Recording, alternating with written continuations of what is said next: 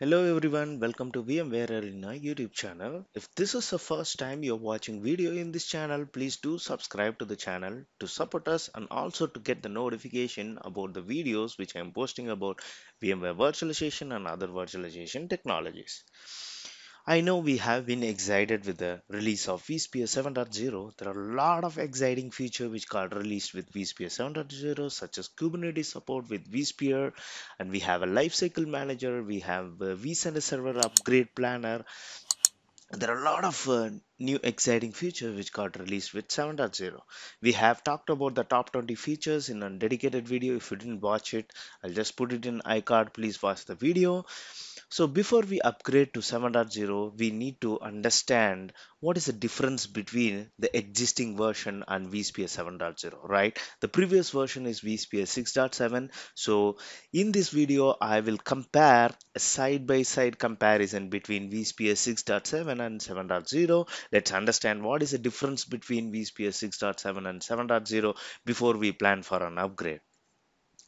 I have also posted on video about a top five things which you need to must to perform before we plan for vSphere 7.0 for a successful upgrade. You can also take that uh, look at that particular video.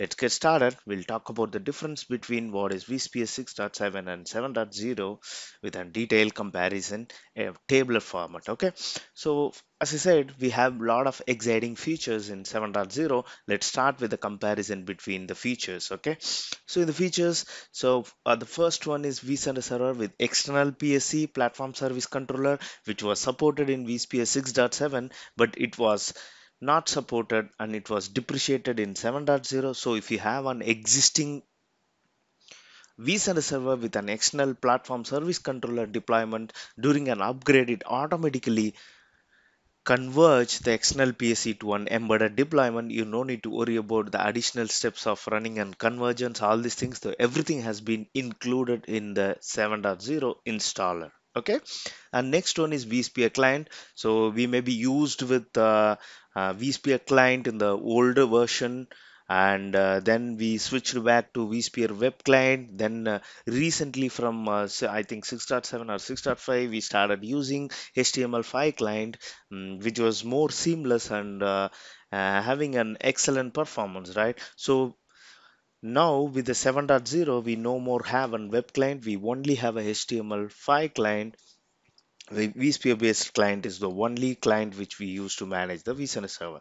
And next one is VM hardware version. So in the vSphere 6.7, the VM hardware version is 14, but when it comes to 7.0, 17. So it is very important once we upgrade the vSphere, we have to upgrade a VM hardware version of your virtual machine to 17 to take the advantage of uh, the new features which is released with vSphere 7.0.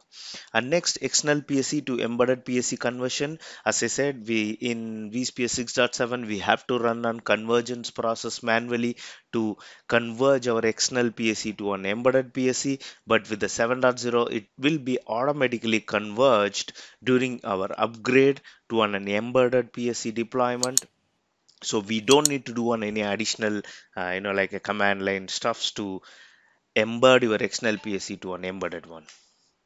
And next uh, vSphere upgrade and patching software. So we have been using uh, update manager for a very long time uh, to perform ESXi patching and perform on um, ESXi upgrade VM tools and VM hardware upgrade but it has been recycled and it is um, uh, it is rebranded as something called vSphere Lifecycle Manager which simplifies all these things. Now we can integrate our hardware management platforms such as HP open HP and Dell Open Manage um, to in, to apply and firmware upgrades to the ESXi as well. So we we also have a uh, single image management where we can create an image, a single image for your cluster to maintain the consistency across the clusters.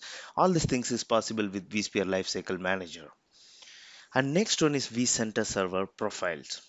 Okay, so basically um, we may be having a number of uh, vCenter servers to manage on different infrastructure, especially uh, we uh, in my infrastructure that uh, the organization which I support, we have uh, hundreds of vCenter servers, right? So installing vCenter server and managing a specific setting to the vCenter server every time is a painful task. So we need something uh, similar to host profile that we capture all the settings then apply to the ESXi host may be simpler for an uh, vCenter server, right? It is similar to host profile, but it is for a vCenter server. So you can configure your vCenter server as per your organization standard. We can just export the profile from the vCenter server and apply to the hundreds of vCenter server as a central configuration.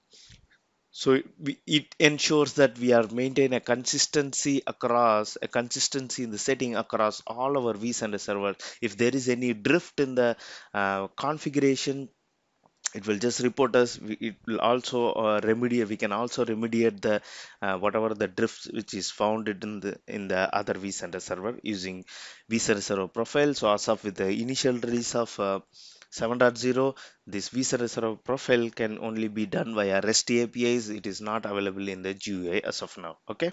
And next one is vcenter multi-homing NIC which is nothing but the multiple network adapter support for vcenter server. So it was not supported in 6.7 but with the 7.0 it is supported up to four network adapters per vcenter server. This is introduced to add a support for vcenter server ha so vcenter server ha provides an high availability for our vcenter server. So we can uh, deploy an active passive node and witness to ensure the high availability of our vcenter server. So if it is one host or uh, the host or cluster which was down on uh, where the vCenter server is hosted, we still have an passive node which will automatically fail over the vCenter server services. So we'll get an high availability for a vCenter server, right? So now we have a multi-NIC support added um, in vSphere 7.0. And next one is Windows vCenter Server. Windows vCenter Server was supported till 6.7 but uh, no longer supported in 7.0.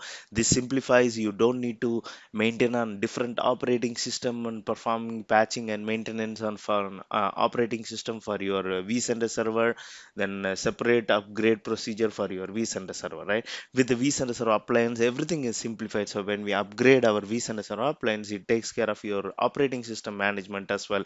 And vCenter server service management as well right so there is no longer windows support for vCenter server in 7.0 which is completely removed Next is native Kubernetes support. So native Kubernetes support is not there in 6.7 as we aware with 7.0 we have a vSphere with Kubernetes. So your uh, your vSphere will natively understand the Kubernetes workloads. We were able to directly deploy the pods and uh, uh, applications directly on your ESXi host. We, we can create the namespaces from the V directly from the vCenter server. Our vCenter server will be aware about all the native workloads, Kubernetes and uh, Docker workloads, it will understand. So there are a lot of um, integrations and uh, enhancement has been brought to uh, vSphere 7.0 to support this uh, native Kubernetes workloads.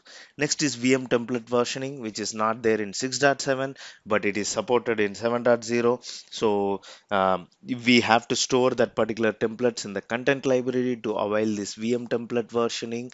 So basically, um, in the earlier version, we may not be having an, uh, um, a terminology or technology to track uh, what are the changes which we make in each of the template and we don't maintain any, any versioning right? For example if any patches has been released we apply to the template uh, the same template and we we keep overwriting the same template. But what if if we are keep maintaining a version? So for example the may month um, patches I applied on our uh, on, on template and next uh, uh, June month template I applied. So each template I can maintain as a different version. So VM template versioning is introduced in vSphere 7.0.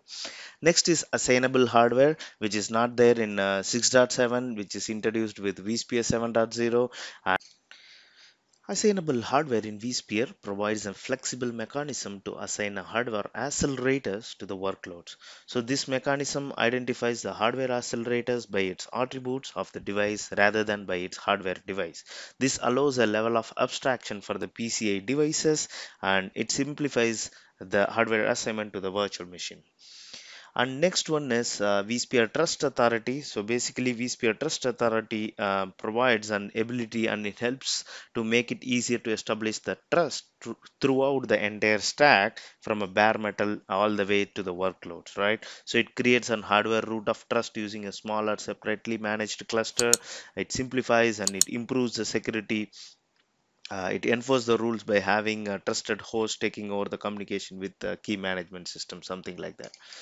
Okay, and next one is vCenter Server Update Planner. So vCenter, uh, in the earlier version, if you want to upgrade our vCenter server, there is nothing called uh, a a planner, or we have to go uh, externally to one uh, upgrade uh, upgrade path, and we understand the product interoperability, all these things. But with the vCenter Server Update Planner, will uh, give us a pre-upgrade check. We can perform any um, issues which we found during the uh, upgrade or something. It also helps us to check the interoperability between a different VMware products which we are using and integrated with the vCenter server. It checks the other versions such as um, NSX, SRM, or all these things whether uh, before I upgrade my vCenter server is that uh, the other VMware products are compatible or not.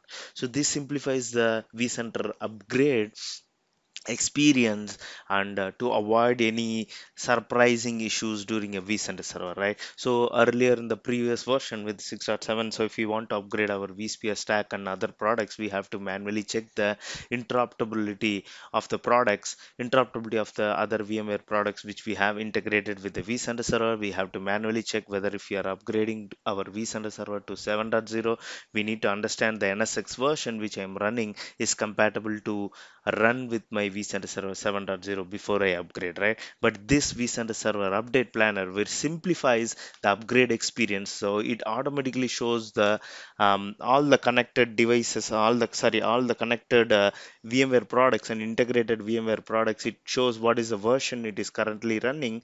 It also gives us which version which I need to upgrade to compatible with the vCenter Server 7.0 upgrade, right? It also, uh, she said, it also gives the pre-checks mm, before we perform the vCenter Server upgrade, and all the updates of vCenter Server can be performed and listed from your vSphere client only. We don't need to perform it from a separate VAMI page now. So everything has been integrated in vCenter Server. This is not there in 6.7. So we talked about some of the comparison of features. Let's talk about the new feature and its configuration maximum. So as I said, the vSphere with Kubernetes cluster has been introduced uh, with the vSphere 7.0. So vSphere 7.0 natively understand the Kubernetes workloads. These are some of the configuration maximums. So since this feature is not there in 6.7, you see not applicable for um, all these uh, numbers in 6.7 but when it comes to vsphere 7.0 so we can create up to uh, directly we can create on vsphere pod on the vsphere cluster so we can create up to 8000 pods. Uh, similar to other uh, cluster maximum we have 64 hosts per wcp enabled cluster which is workload configuration cluster uh, the maximum number of ESX cluster enabled per vCenter server is 50 and concurrent parallel push to multiple projects per uh, supervisor cluster is 50. The maximum number of namespaces we can, so namespaces we can create from the vCenter server, it is uh, maximum is 500. The maximum number of projects created from the registry is 500. What is the concurrent pull images from the registry? So we, we also have a harbor which is integrated with the vCenter server. We can pull and push the images from the harbor for an our uh, vSphere um, uh, pods deployment maximum number of vsphere pods per uh, esxi node is 1000 and we have maximum number of containers per vsphere pod is uh, 10 uh, so maximum number of vsphere pod per vcenter server namespace is 8000 maximum number of vsphere pod per vcenter server so we can create up to 15000 pods per vcenter server um, for the overall uh, combination of uh, the count right so uh, we can natively create on uh, namespaces in our vCenter server. All these things is only possible with vSphere 7.0. Next, when I come to the configuration maximum, I didn't cover all configuration maximum. Uh, I just picked some of them very important one which we are keen at. So when you compare the 6.7 and 7.0, there are not much uh, configuration uh, maximum differences. The only difference maybe we see here is uh, uh, hardware version is 14 and 17 but uh, the mem- uh, the virtual disk size memory size RAM and virtual disk, CPU, uh, all remains the same actually. Uh, most of them remains the same. Let me find if there is any difference in it. Yes. So almost uh, it's the configuration maximum which I compared here is for the virtual machine and ESX OS remains the same, but we have a lot of improvements has been brought into vMotion, a lot of improvements has been brought into DRS, and we have a native uh, mm, Kubernetes to run on cloud native applications.